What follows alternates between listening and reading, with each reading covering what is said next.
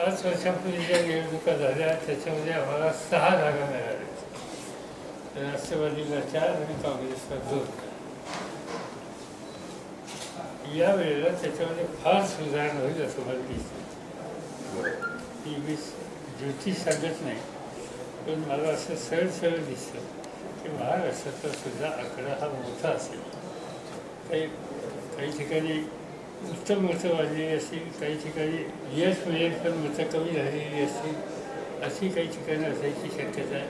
पण एकंदर total number हा महाराष्ट्रातला चांगला असेल आणि देशातला चांगला असेल.